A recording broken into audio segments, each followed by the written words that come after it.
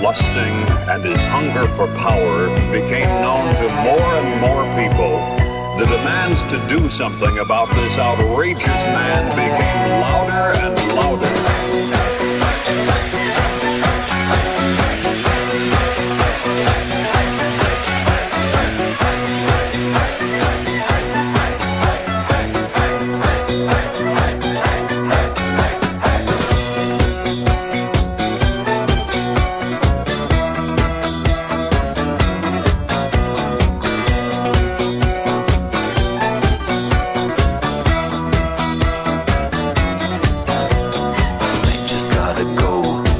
daddy's name.